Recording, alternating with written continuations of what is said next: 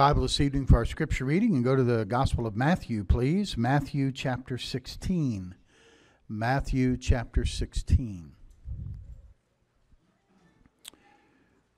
We're going to read verses 13 through 17.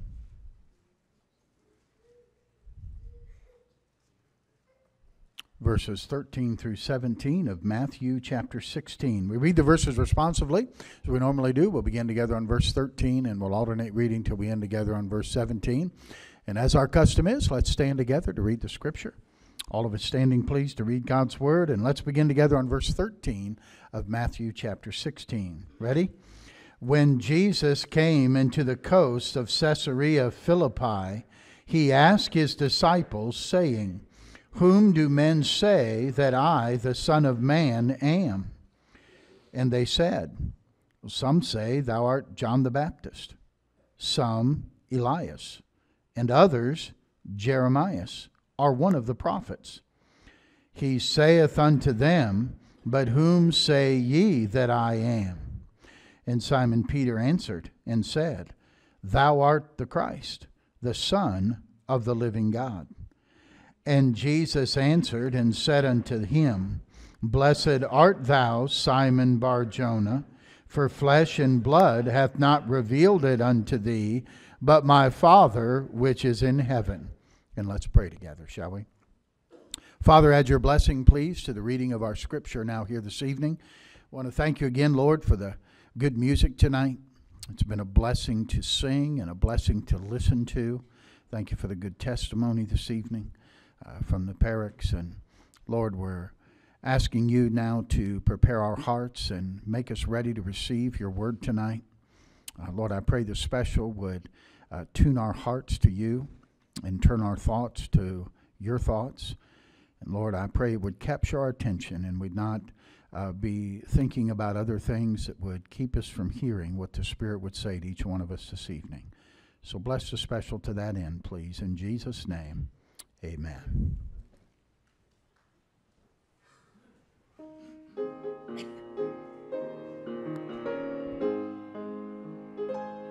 My soul in sad exile was out on life's sea, so burdened with sin and distress,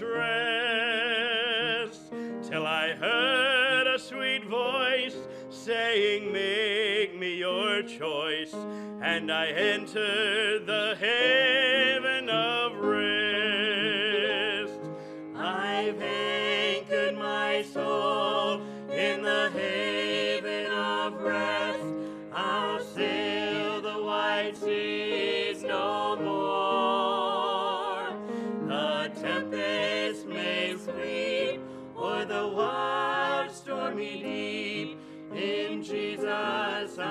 I'm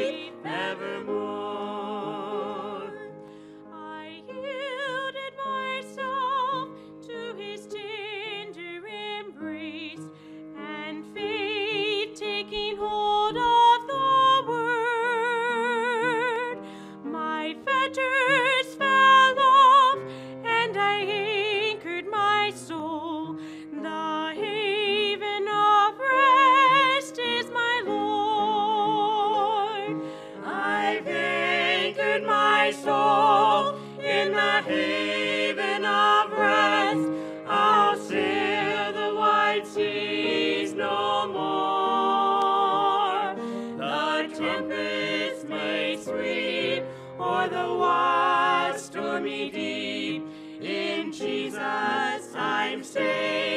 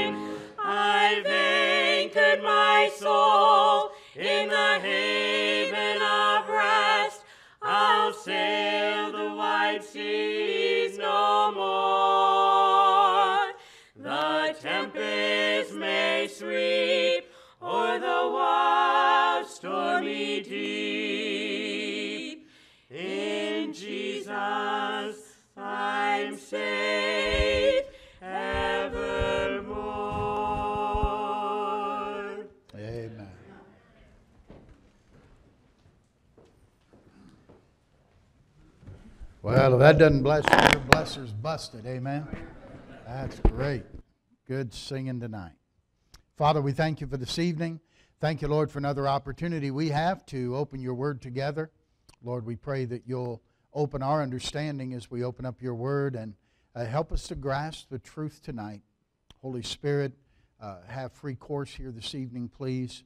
Uh, move up and down our aisles and in and out of the rows, and uh, please minister to every single person tonight. Uh, minister to those who may be watching by way of the live stream. And Lord, I pray that your will will be done in each heart and life, and will understand the importance of influence in our lives. We prayed in Jesus' name. Amen. Years ago, the communist government in China commissioned an author to write a biography of Hudson Taylor, the famous missionary to China. Their purpose was to distort the facts and present him in a bad light. They wanted to discredit his name and, of course, at the same time, uh, discredit the gospel that he presented. But as the author they had was out doing his research, he was increasingly impressed by the character of Hudson Taylor and his godly life. And the more people he talked to and the more people he interviewed, the, far, the, the harder he was finding it to carry out his assigned task with a clear conscience. And eventually, at the risk of losing his life, he laid aside his pen, renounced his atheism, and received Jesus Christ as his personal Savior. That's influence. That's influence even after he's gone. Influence is the effect or impact you have on another person's life. We, one of the things that um, in one of the principles of RU. I think it's our sinful habits hurt those who follow us. Brother Curington talks about uh, influence that you have in life. And sometimes people think they don't have any influence, but he, he puts it this way. He said, How many of you, he always asked, How many of you think if you died, you'd have 100 people at your funeral? How many of you think you'd have 100 people at your funeral if you died today? Huh? Come on. 100 people? The church would be there for you, all right? Keep your hands up, 100 people. How many think you'd have 75 people at your funeral? 75 people. 100 people, keep your hand up. 70, 75? 50? 50 people come to your funeral? How about 25 people at your funeral? Think you'd have 25 people at your funeral? Okay. How about five people at your funeral? Think you'd have five? Okay.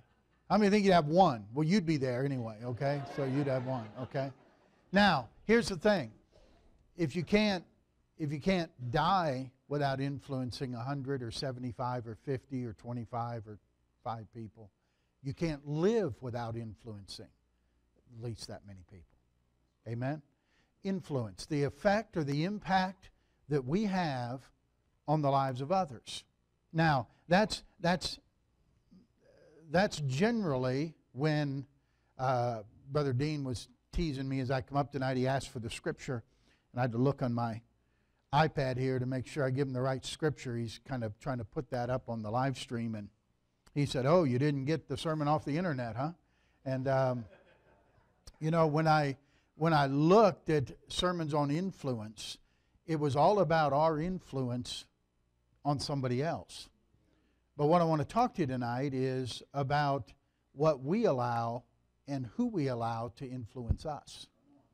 Okay? That's the influence. We, we hear things about eat this or drink this or buy this or this is, yeah, I know you have this, but this is new and improved. And so now you need this one. Or you want this one because it's doctor recommended. Or four out of five dentists approve this one, you know. Uh, we have, uh, they, they, they say all kinds of catchphrases like that. Or you get a, you get a famous athlete to do your commercial. Or you get a famous celebrity to do your commercial. Why are they doing all those things? Because they're trying to influence you to buy their product and why you need to, to spend your money. Radio influences us, television influences us, the internet influences us, social media influences us, movies influence us, music influences us, people influence us. And the question that everybody needs to ask ourselves tonight, themselves, is this Who and what am I going to allow to be an influence in my life? All these things are going to endeavor to influence me. What am I going to allow to influence me? You, your Bible's open to Matthew 16, where we read about Peter. And Peter is with the disciples, Jesus is gathered with them.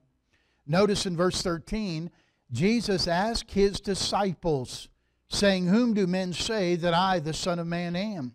And of course, different responses. Some say, they, they said, different disciples, it doesn't say who answered.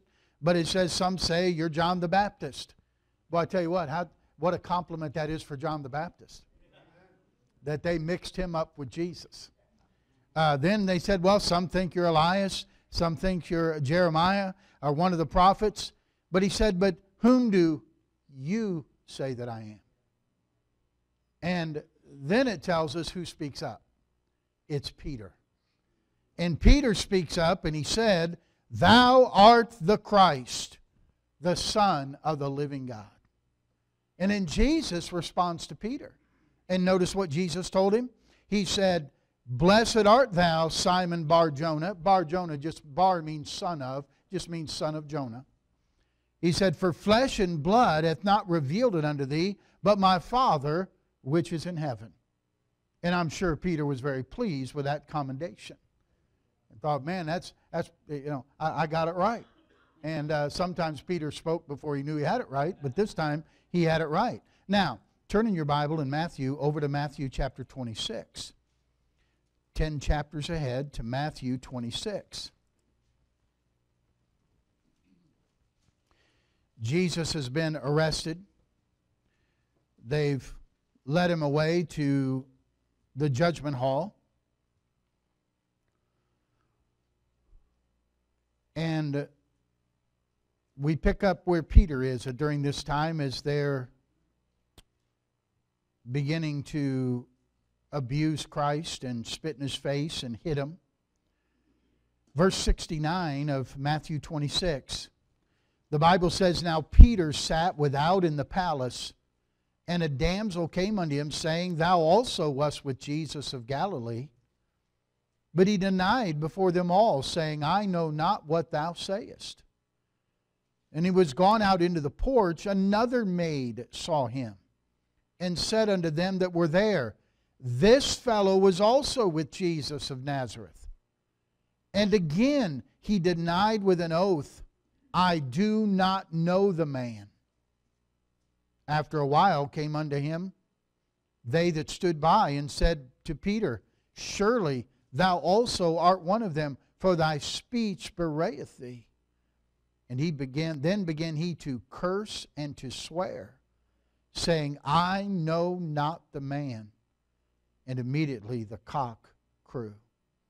And Peter remembered the word of Jesus, which he said unto him, Before the cock crow, thou shalt deny me thrice. And he went out and wept bitterly. It's amazing the contrast here of the one of the disciples that was to speak up and say, Thou art the Christ, the Son of the living God. And for God, for Jesus to be able to say, Peter, you, th- though you're the son of Jonah, flesh and blood didn't reveal that to you. You didn't learn that from your earthly father. My father revealed that to you. And only 10 chapters later, three, less than three years later, he's cursing and swearing and saying, I don't know the man.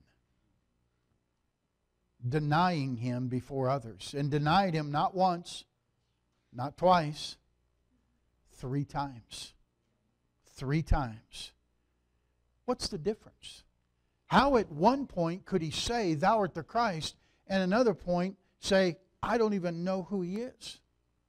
How could he go from uh, letting everyone know and boldly proclaiming he's the Son of God to saying, I don't know who you're talking about?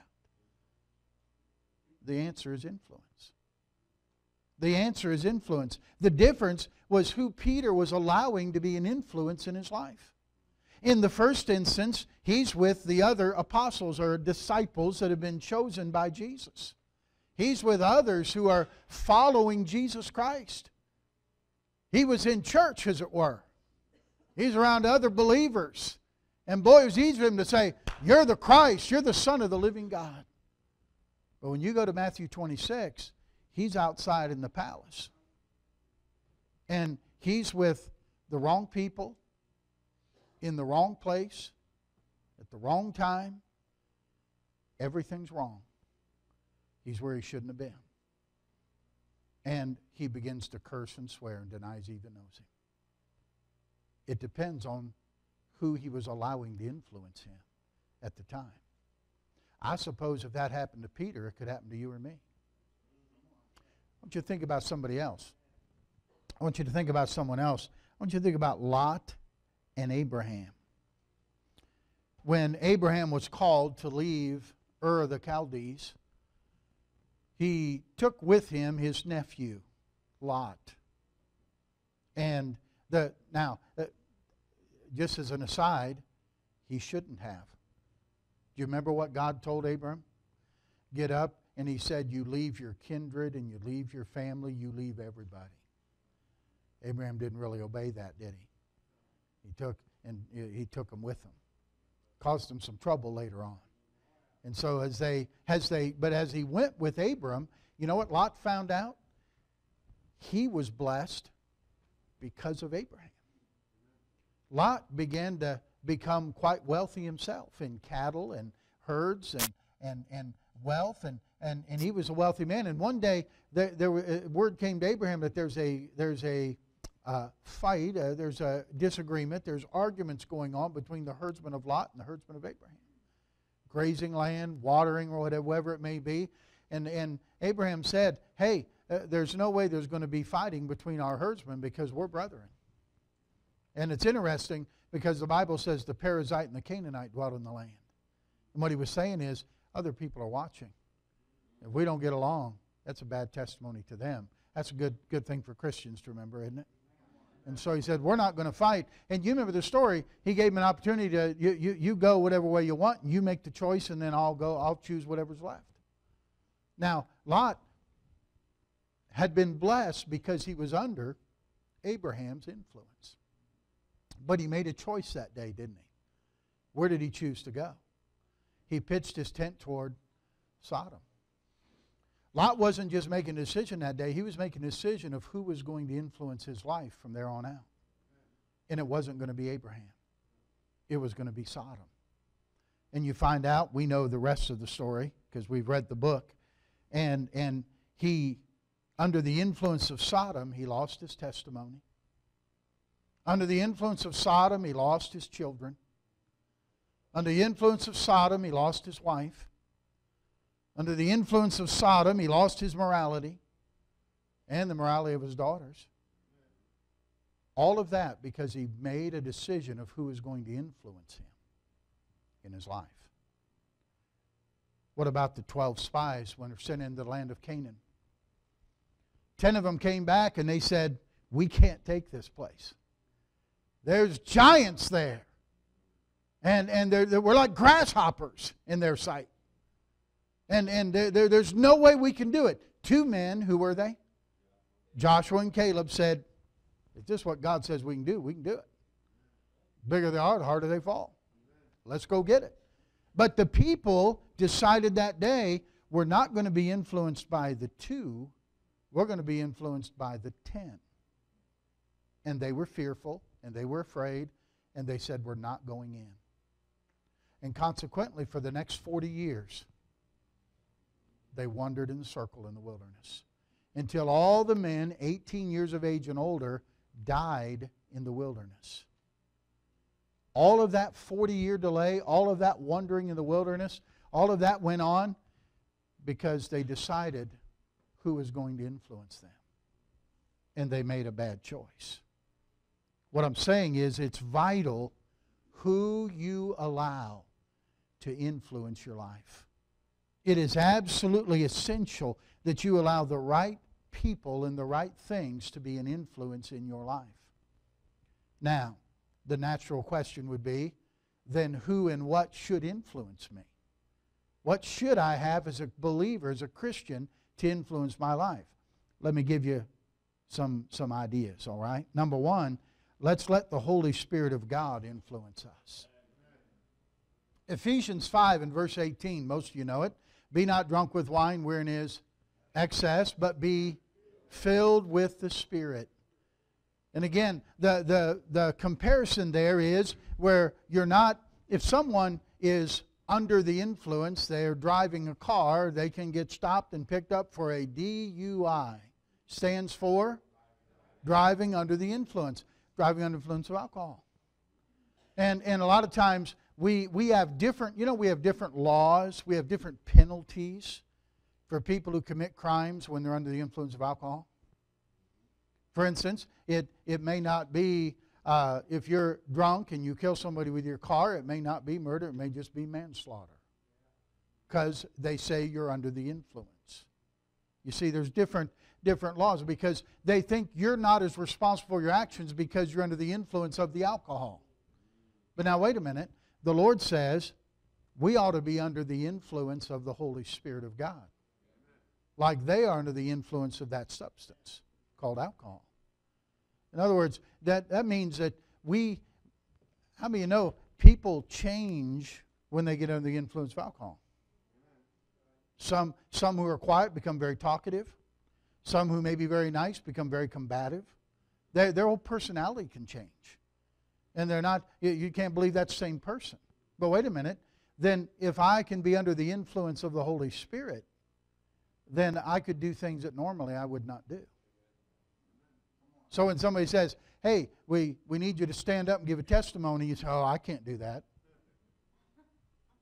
oh, really? Huh? Who do you have? Whose influence? Whose influence are you under? See, you influence your influence, or you be under the influence of the Holy Spirit. Oh, I could never go out and talk to anybody about Jesus. Who, whose influence are you under? You see, the Spirit of God, He wants to have the influence in our life. So we're under His influence where, where He has the control of us. Will you allow the Holy Spirit to control you? Or do you still want to have the controls? God, God isn't in the co pilot seat, God is to be in the pilot seat. And He's to be in control of our life. The Holy Spirit, it's the Holy Spirit, the Bible says in Romans, that puts to death the deeds of the body, that puts to death the deeds of the flesh. They say, well, I just, I just can't stop this. It, it's some, whether, and by the way, whether it's some addiction or whether it's anger or whether it's, it's gossip or whether it's in any of the other things that sometimes we don't think are so bad sins, you know. Because they're not as outward as somebody who's smoking or drinking or shooting up with drugs or something like that. But listen, the, the worrying and the gossiping and the anger and the jealousy and the envy and the covetousness, that's just as wicked in the sight of God. Okay? And how do you get victory over that? Well, you get victory over that by the Holy Spirit of God. He's the one called alongside to help. God, God never said you're going to live the Christian life by trying harder. You live the Christian life by yielding more, by surrendering to the Spirit of God. It's it's the power that raised up Jesus from the dead. He lives inside of us. That's the power of the Holy Spirit. And He'll give you the victory. The Holy Spirit gives us victory over the flesh. The Holy Spirit opens our understanding of the Bible. Well, see, people who say, you know, I need, I need a Bible that's easier to read. I don't understand it. Your problem isn't easier reading words. Your problem is ask the Holy Spirit to open your understanding.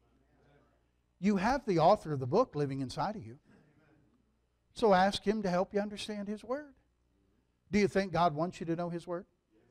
Does he want you to understand his word? Well, sure. So is he going to make it hard for you? No, he's not. He's going to help you. I, I, I, get on the people in RU all the time because we have folks who, and because sometimes because of their past, they say, I just can't, I can't memorize anything, you know. I can't memorize all these verses. And, and I always look at them and I say, well, it's too bad God wouldn't help you. Too bad there's nobody who would help you do that. No. And you know what? We don't think about, why don't I ask God to help me with this? Why don't I ask the Holy Spirit to help me to memorize? Does, hey, does He want you to memorize His Word? Would He like you to hide His Word in your heart? Would He like you to meditate upon His Word? Absolutely. Uh, too bad He wouldn't help you do that. Absolutely, He will. So, will you let the Holy Spirit have influence in your life? He'll mortify the deeds of the flesh. He'll open up your understanding of the Bible. He'll pull down the strongholds of wrong thinking and, and in your life. I talked to several people just this past week that said, Man, I've, my thinking's changed so much on, it was a subject of homosexuality. And, and, and, and th- those areas, and my, my thinking's changed so much on that since I've been saved. Since I've been coming to church. Well, that's the way it's supposed to be. God begins to change our thinking. Your living never changes till your thinking changes. Holy Spirit does that. The Holy Spirit produces His fruit in my life. Holy Spirit, all you have to do to get the love, joy, peace, long suffering, gentleness, goodness, faith, meekness, temperance, all you need to do to get that in your life is yield to Him. You don't try harder. I just have to work harder at being long suffering. No, no, no, no. It's not in your power, it's in His power. We yield to the Spirit of God and say, Spirit of God, I yield to you. You put to death my members today. You, you control my thinking today. I want to live under the influence today, the influence of the Holy Spirit of God. Everybody, everybody who's a believer has the Holy Spirit. When you got saved, you got the Holy Spirit of God. And He's there to, guide you and direct you. The Bible, Jesus said, He'll bring all things to remembrance what I've taught you. Who, who helps you to remember what the Lord's taught you? The Holy Spirit does. So ask Him to help you, ask Him to influence you. Someone said, if you do not like the crop you're reaping, change the seed you're sowing. If you don't like the crop you're reaping, change the seed you're sowing. They that sow to the flesh shall of the flesh reap corruption. They that sow the Spirit shall of the Spirit reap life everlasting. So sow to the Spirit, not to the flesh. So we let the Holy Spirit be an influence in our life. How sad it is that most Christians go days and weeks and months and never ever talk to the Holy Spirit. Never ever consciously yield yourself to Him. Never consciously ask for His help eh, when He's there to help. He's there to be the prayer partner. He's there to intercede for us. He's there to empower us. He's there to, to be our help. And we don't call on Him. Allow Him to be an influence in your life. Secondly, besides the Spirit of God, allow the church of God to be an influence in your life. Look at Romans or uh, Hebrews chapter 10, would you please? Familiar verses, but I'd like you to look at it. Hebrews chapter 10, talking about influence. Hebrews chapter 10. Notice verse number 23, where the writer of Hebrews writes this Let us hold fast the profession of our faith without what? Wavering, for he is faithful that promised. Let us consider one another to provoke unto love and to good works. Well, how do we do that? There's not a period at the end of that verse, is there? No, he's still still holding that thought. Not forsaking the assembling of ourselves together, as the manner of son is, but exhorting one another, and so much the more as you see the day approaching. We gather together to exhort unto love and good works, to provoke others to love and good work. You know what that is? The church having influence in your life. The gathering together of the saints has an influence. Just how Lot was blessed, as long as under Abraham's influence, I want to be around people that'll influence me to love God. I'm around people that'll influence me to serve the Lord. I'm around people who influence me to love other people. Because those who love God are going to influence me to love God and going to help me to love God. And those are the people I want to be around. Now remember, Hebrews here, he's writing to people who, who were uh, grappling a little bit with their faith. That's why he said in verse 23 Let's hold fast the profession of your faith without wavering. Oh, some people were getting shaky on their profession of faith. One of the reasons they got shaky on their profession of faith was they weren't gathering together with other believers. Didn't Peter? Peter got real shaky with his faith, didn't he? When he wasn't around other believers.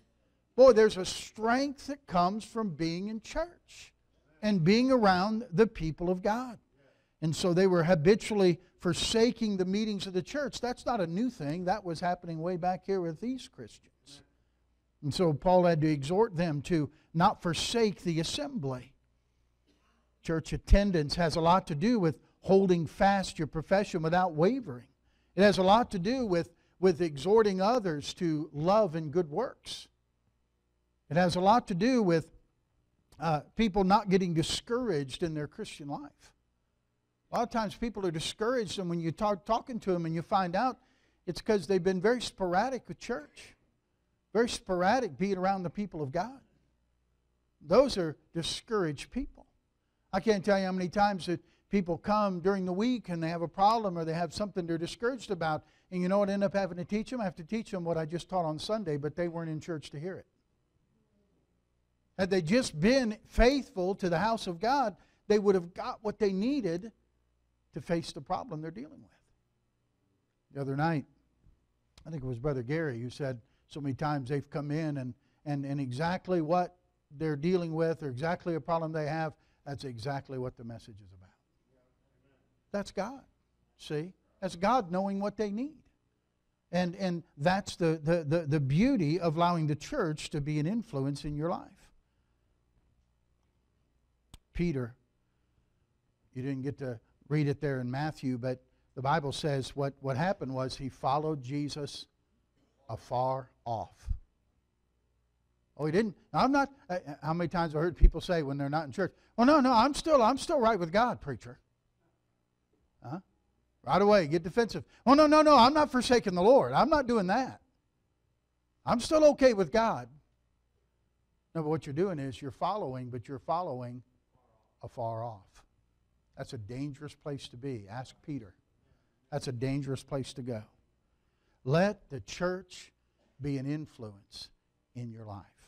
Let the Spirit of God influence your life. Let the church of God influence your life. Thirdly, look at 1 Corinthians chapter 4. 1 Corinthians chapter 4.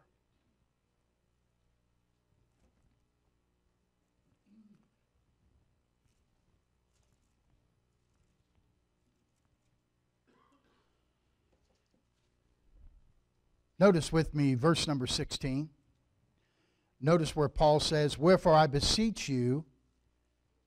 What's the rest of the verse say, church? Be ye followers of me. Turn over a few pages to chapter 11 of 1 Corinthians and verse 1. What does Paul say again here in 1 Corinthians 11 and verse 1? He says, Be ye followers of me, even as I also am of Christ. Can I say this? Allow the man of God to be an influence in your life. Allow the man of God to be an influence in your life. Allow the pastor who follows Christ to be an influence in your life.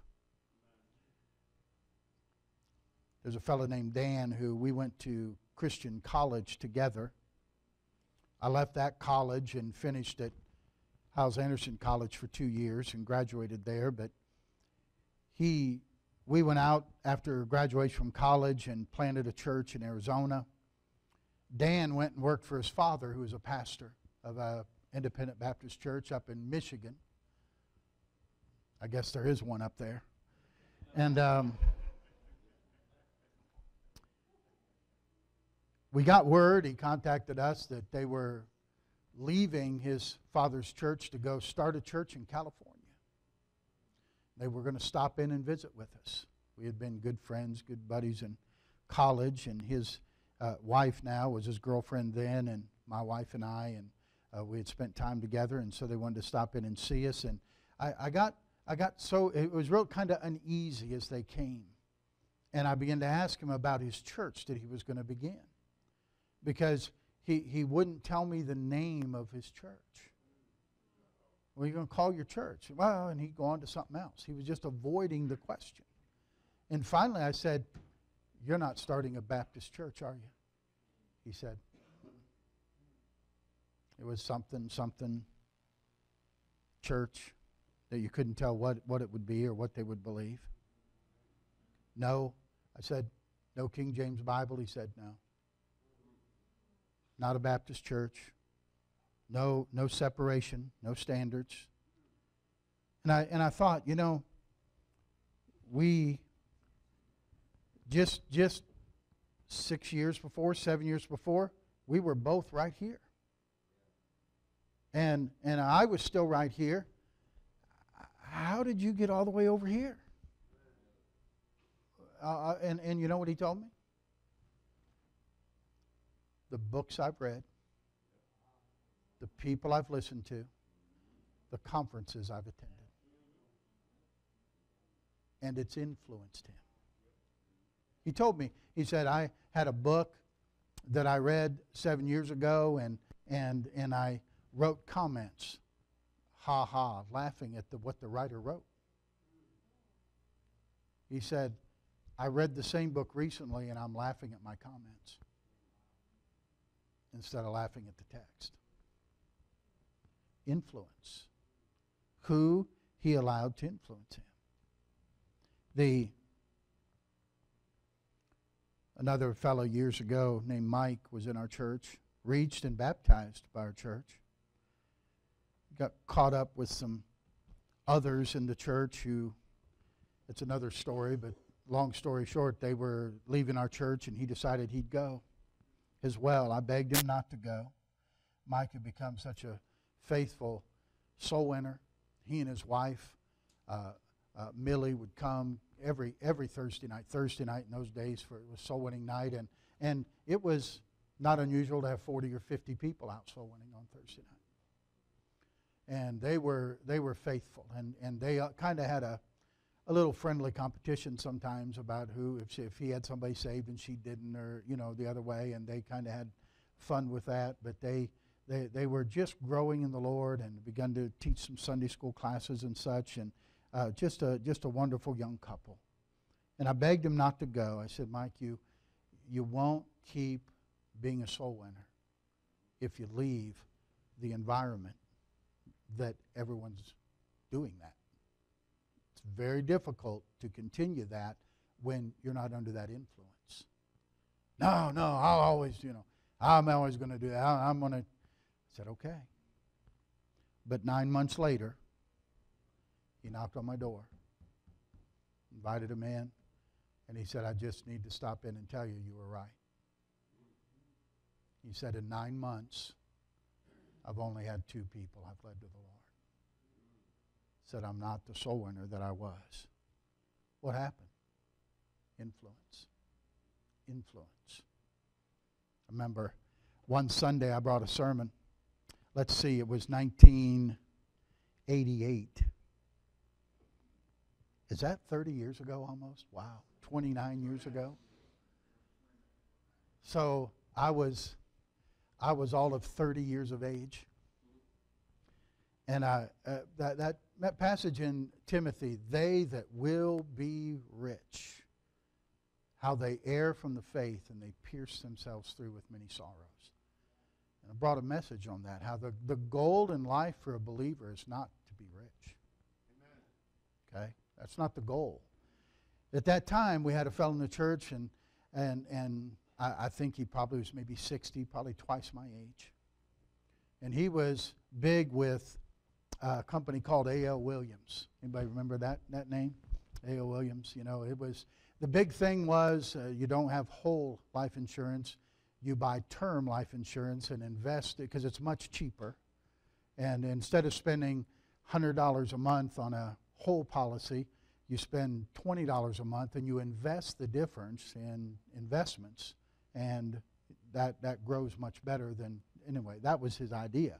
And he had come to me and he had wanted me to if I, fi- if I counseled couples in the church to, you know, if I could recommend them to see him, he could set them up. And then he would, you know, kick me back some money. And I said, I'm not going to do that. Can you imagine if people find out that, oh, yeah, Pastor says go see him? Well, you know, your guy gives him money for, doing know, what? You know? I said, no, no, I can't do that. Then he tried to get me to join with him and A.L. Williams took me to a meeting and we saw videos of all these preachers that, that sold insurance too and uh, did that on the side. I said, man, I just, I said, I just have a hard time knocking on doors in the community saying, hi, I'm Stan Slabaugh with A.L. Williams. I said, I just feel like I'm Pastor Slabaugh with and the name of the church. That, that's, that's who I am. I said, so I can't do that. Well, when I, the whole goal of that thing, of them being in that, is financial independence. Your goal is to be financially independent. Okay? So obviously, when I brought that message that morning, that didn't sit well. When I got done and walked to my office, he was waiting at my office door. And he let me know that he was twice as old as I was. And that something about I was still wet behind my ears and didn't know what I was talking about and just just let me have it undressed me pretty good and let me know he was leaving the church. The sad thing is, but by the way, all that is, A.L. Williams had more influence on him than his pastor did. You understand? He had more influence than what he allowed his pastor to have. The sad thing is, again, he had a grown daughter and a husband, and they left the church when he did. And within three years, tragically, they were divorced. Their marriage had fallen apart. You see, you, you just don't know the influence. We had another family. Boy, I tell these stories, you think everybody we ever had left the church, you know, but um, had a family that read a book on child rearing. And the author in that book, and it was a famous radio preacher, famous preacher that would be known if I said his name, and he wrote that book and he said, You ought to give your child a choice about going to the dance or not. You ought to give your child a choice about going to the rock concert or not. That you don't want to influence their, their, their religion. You, you need to give them the choice. And let them decide for themselves. And they took that famous author and famous pastor over their pastor and decided they would take their influence and they left. You see, and, and by the way, I don't understand that. How can you not want to influence your children? How can you not want to be the right influence for them? I mean, the, the internet's going to influence them. Television's going to influence them. The public school's going to influence them the, the, their friends are going to influence them. Everybody else is putting their influence on them. Mom and dad, you better put your influence on them. If, if they're just supposed to decide everything for themselves, why did God give them parents? Why did God put you in the picture? Why did He say, Children, obey your parents in the Lord if you don't ever give them anything to obey? If all you do is give them choices. No, you're supposed to give them commandments. Keep them.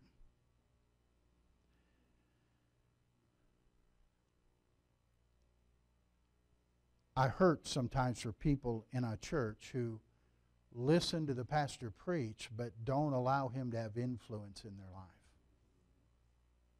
I've, you've heard me say it before. There are people who look up at the pastor and they say, There's the pastor of the church. There's others of you in the room that look up and they say, There's my pastor. And that means you're allowing the pastor to have influence in your life. He's your pastor. There's a difference. Sometimes people hear the truth and you think, wow, that's what the pastor thinks. Well, I know pastor said this, but I heard Dr. Phil say this. Uh, the pastor said this, but you know, Dr. Oz was on the other day, and uh, and we hear them, and and we say that, but sometimes that, that that's very true. Do you allow do you allow the Word of God, the Spirit of God, and the man of God to be an influence in your life? Oh, what a difference it makes.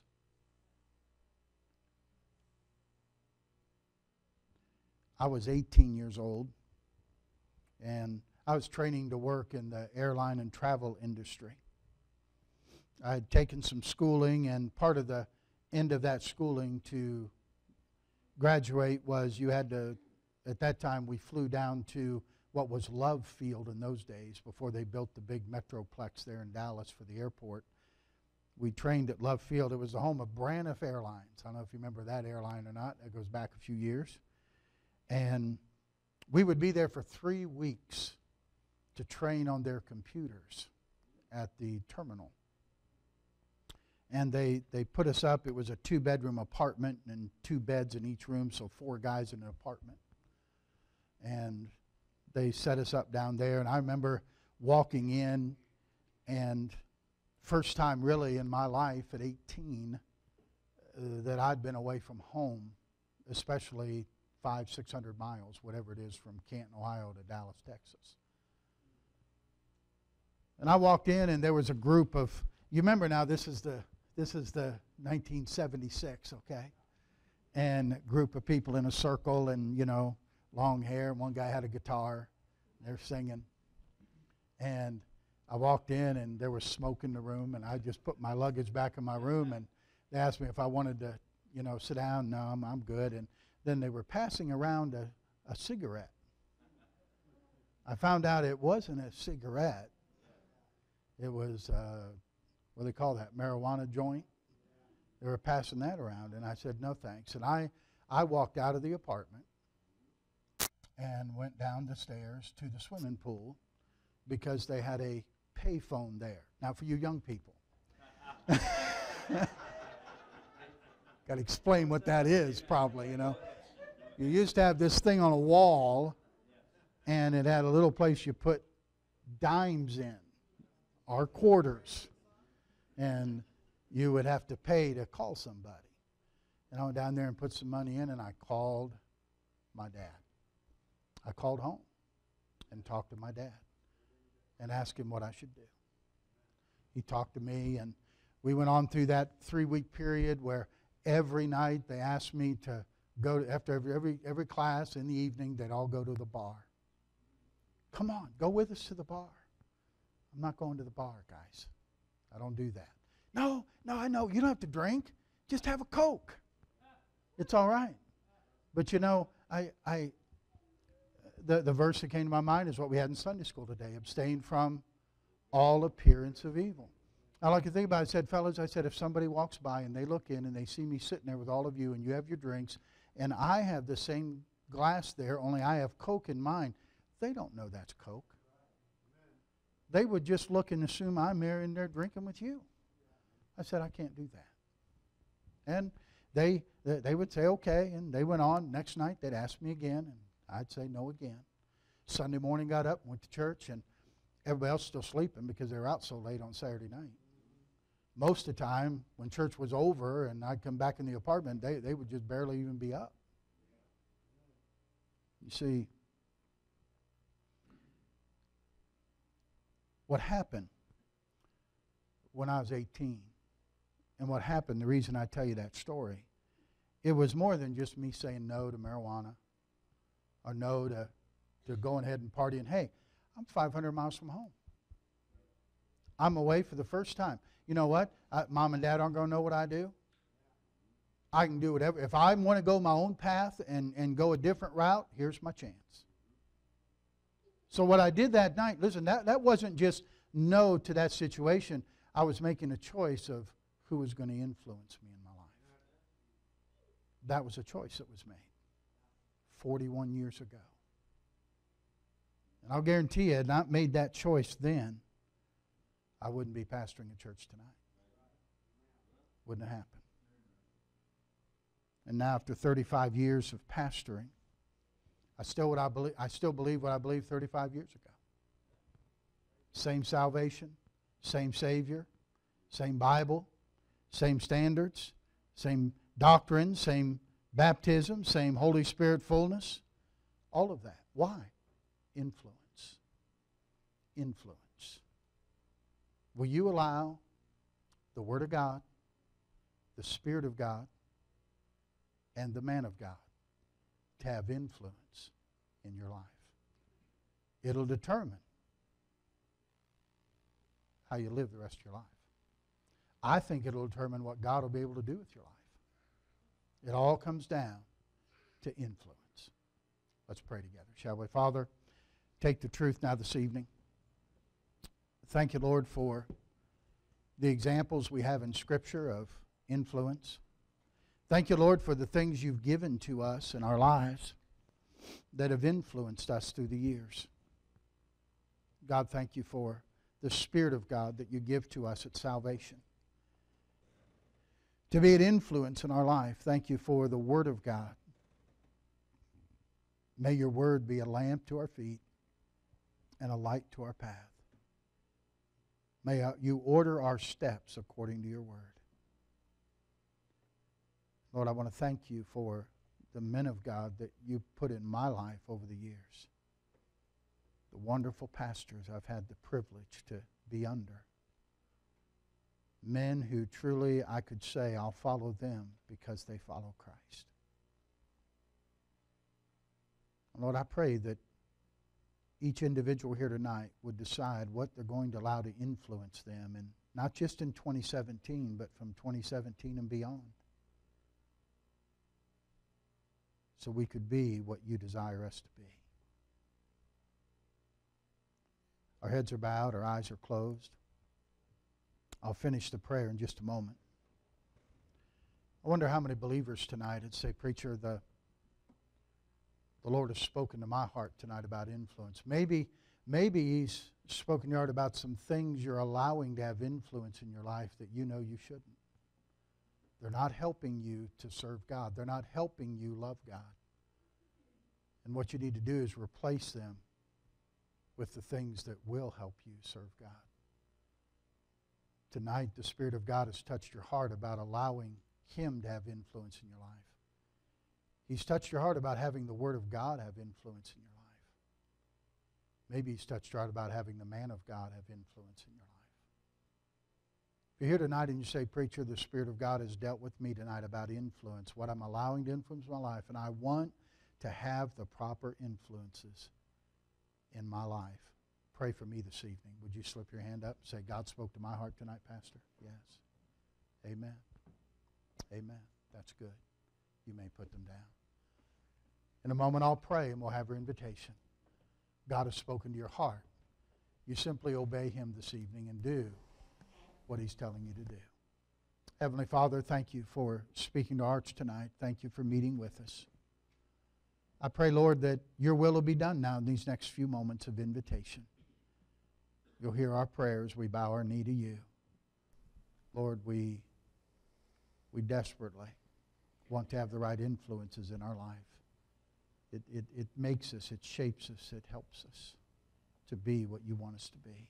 Thank you for giving us the Spirit of God, the Word of God, and a man of God in our lives that we can look up to. And I pray, Lord, that by letting these things influence us, that we could be a good influence to others. Have your way now this invitation, and I'll thank you for it. With your heads bowed, stand to your feet. As you stand to your feet, pianist will play. As she plays, Brother Bob's going to sing. God has spoken to your heart, respond to Him this evening. Will you please? Oh, to be like thee, right. blessed Redeemer. This is my constant longing and prayer. Gladly I'll forfeit all of us treasures, Jesus, thy perfect likeness to wear. Oh, to be like thee, to be like thee, blessed Redeemer, pure as thou art. Come in thy sweetness, come in thy fullness, stamp thine own image deep on my heart. Oh, to be like thee, full of compassion, loving, forgiving, tender and kind, helping the helpless, cheering the fainting, seeking the wandering sinner to find. Oh, to be like thee, oh, to be like thee, blessed Redeemer, pure as thou art. In thy sweetness, come in thy fullness, stamp thine own image deep on my heart. Oh, to be like thee while I am pleading, pour out thy spirit, fill with thy love. Make me a temple, meet for thy dwelling, fit me for life and heaven above. Oh, to be like thee, oh, to be like thee, blessed Redeemer, pure as thou art. Come in thy sweetness, come in thy fullness, stamp thine own image deep on my heart. Look this way for a minute, if you would. Remember, now Tuesday, uh, Brother Moreland has some surgery on Tuesday, and so pray for him. Just outpatient, but uh, you pray for Brother Ron if you would on Tuesday. Know he'd appreciate that. Brother Linky has a, a test he's taken, civil service test on uh, three o'clock on Tuesday. So please remember him in prayer. He'll have good recollection of what he's studied, and he'll be able to do well on that. Uh, opportunity for a, a, a real good job opportunity for him. So let's pray for that. pray for the pastors' conference in India that'll start Wednesday, and uh, be praying for Brother Yoder, Brother Fowler for the work there that God's doing. All right, and ladies, don't forget those of you going to the uh, ladies' retreat, you have a meeting down in the conference room after we're done with the service tonight. Okay? Let's pray together, shall we? Father, thank you for today, and thank you, Lord, for a wonderful Lord's Day. It's been good to be in the house of the Lord. Uh, thank you for faithful people who love you and are in their place Sunday morning and Sunday night. Lord, thank you for decisions that were made today. Thank you for Mimi and for Nicodemus and uh, joining in the fellowship with our church. I pray, Lord, that will be a, a, a blessing and encouragement to them as they seek to live for you. Lord, thank you for decisions that have been made in our hearts today because we were in church. Thank you for a church that will provoke one another to love and to good works. Father, we love you. We love what you're doing in our church, and we pray that you'll continue to work in each one of our lives. Make us mindful now that you go with us from this place. Lord, help us to please you in all we do this week. In Jesus' name we ask it. Amen. The joy of the Lord is my strength. Let's sing it one more time together. The joy of the Lord is my strength. The joy of the Lord is my strength. The joy of the Lord is my strength. Oh, the joy of the Lord is my strength. I go to Bible Baptist and I love my church. I go to Bible Baptist and I love my church. I go to Bible Baptist and I love my church. Oh, the joy of the Lord is my strength. God bless you. You are dismissed.